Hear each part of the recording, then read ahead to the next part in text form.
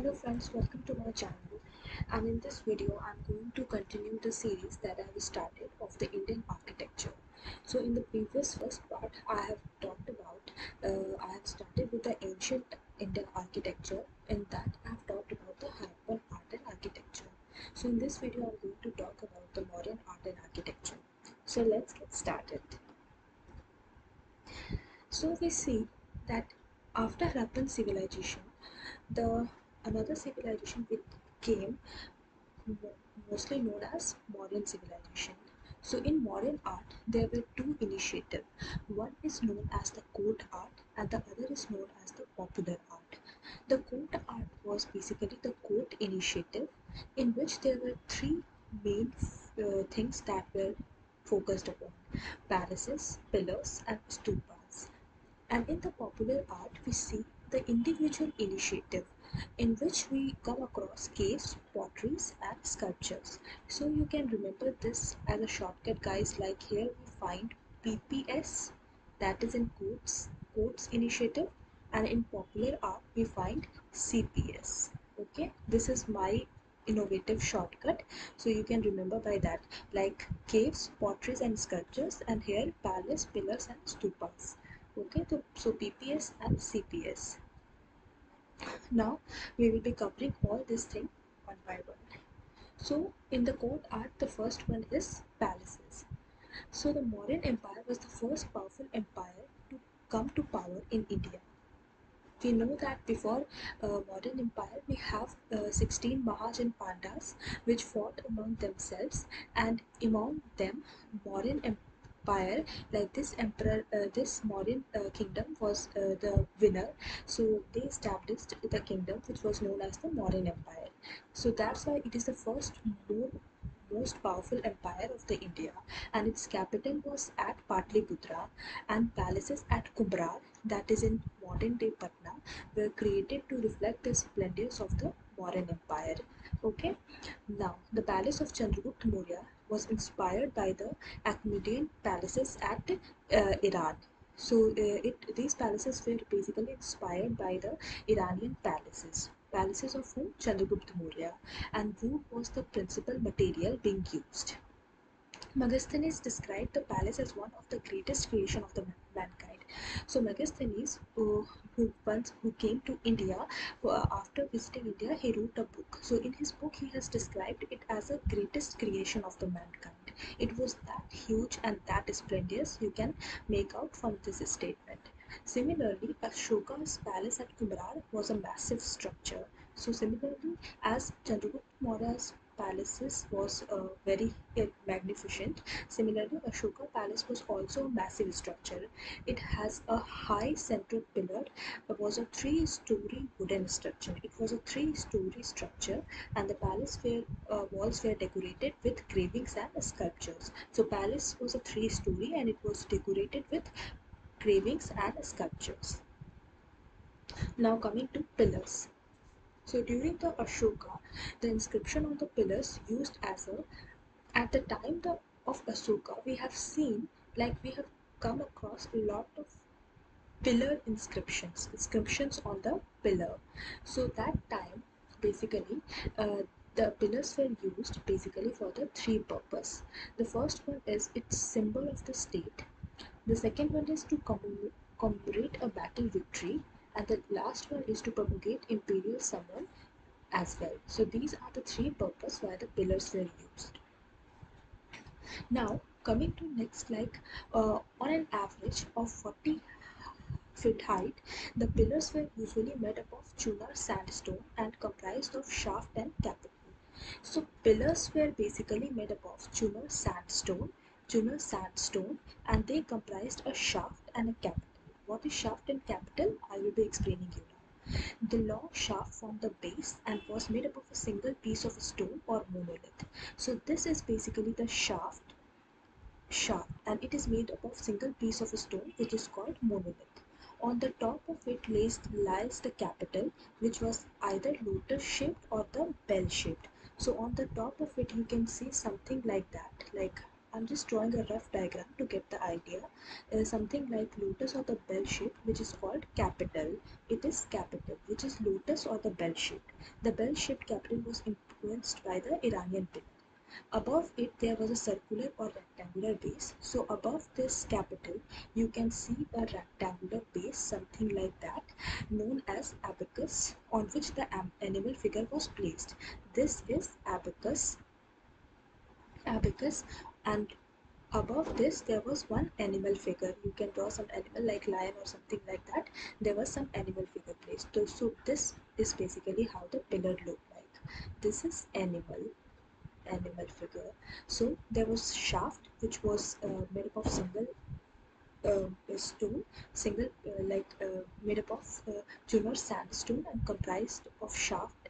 Shaft. Okay, this is shaft, and then mm, uh, uh, single sorry shaft is made up of single piece of stone uh, with, uh, generally chunar sandstone and then above it there was a capital and then we see we have abacus and then above this had the animal uh, animal figure so example of this is in Champaran in Bihar and at Varanasi in Sarnath pillar. Sarnath pillar we see that and uh, uh, other is Lauriya Nandangarh pillar in Champaran. These both are the examples. So now moving next to the stupas. This is the last one of the uh, initiative. So stupas were basically the burial mounds prevalent in India from the Vedic period. So stupas were nothing but the burial mounds.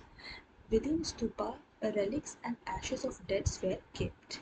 So uh, stupas in stupas generally the relics and the ashes of the deads were kept. During the period of Ashoka, the art of a stupa reached its climax. So whenever somebody asks like what was at climax during the period of Ashoka, so it was stupas. So the core of stupa was made up of the unburnt brick while the outer surface was made up of the burnt brick.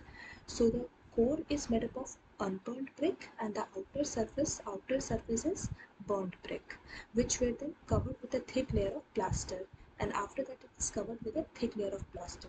The Medhi and the Toran were decorated by wooden sculptures. So stupa has one Medhi and one Toran. I will show you this thing and you can even find the figure in the Nitin Singhania book. I will show you this in the later video.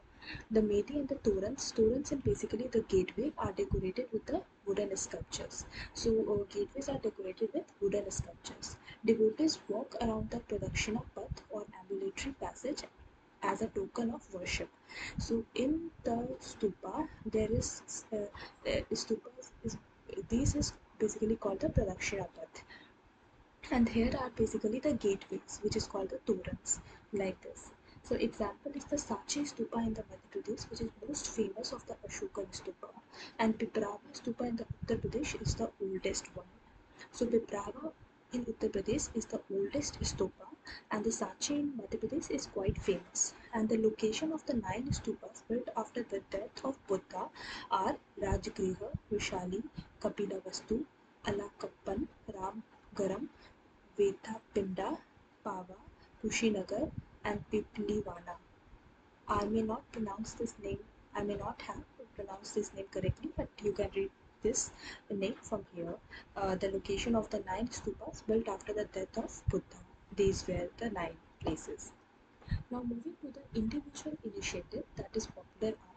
The first one is the cave architecture. So this period saw the emergence of rock cut cave.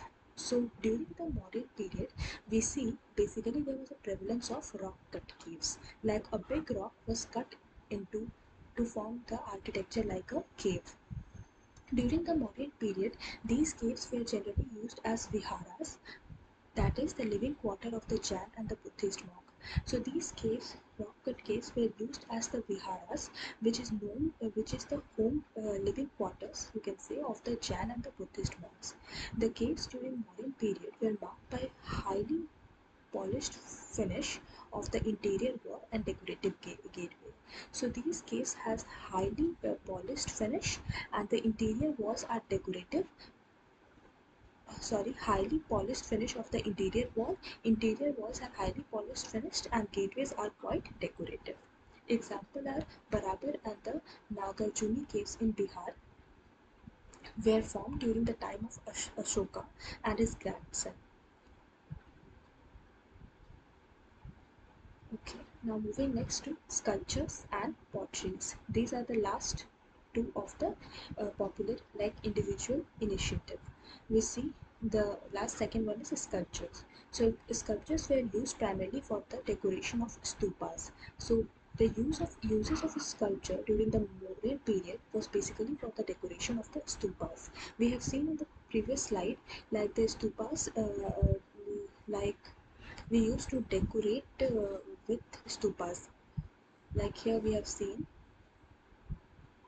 uh, sorry uh, sculptures are used for decorative purpose. We have seen over here like uh, the core of the stupas is made up of wooden sculptures. Yeah the medhi and the torans were decorated with the wooden sculptures. Here it is written. So uh, it is saying about that only like the sculptures are used primarily for the decoration of the stupa in the torans and in medhi and as the form of religious expression. Two of the famous sculptures of the Mauryan period are those of yaksh and yakshani so the two famous uh, sculptures of Mauryan period were yaksh and yakshani these are very quite famous sculptures of the Mauryan age. They were uh, uh, they were objects of worship related three religions: Jainism, Hinduism, and Buddhism. It is talking about Yaksh and Yakshan. Now coming to the pottery, the pottery of the Mauryan period is generally referred to as the northern black polished ware. So in the Mauryan period, the pottery were referred as northern black, northern black polished ware, and we have seen in the previous slide that in the Harappan civilization, uh, the potteries are red and black potteries. Uh, we have seen there, and here it is northern black ware. They were characterized by black paint and highly luscious finish, and were generally used as luxury items. So here the use of the pottery is as a luxury item. They have often been referred to as the highest level of pottery. So they have they are so magnificent, so grand, I mean in their architecture and their look that uh, this is called the highest level of the pottery. So these are basically the art and architecture of the Mauryan age guys. I've explained you everything and in the next video I will be coming, coming up with the post-Mauryan architecture. So this is the end of the video guys. Till then keep watching and if you have any doubt, any query then mention in the comment box and do like this video and subscribe to my channel and share to your friends as much as you can. Thank you guys. Thanks for watching.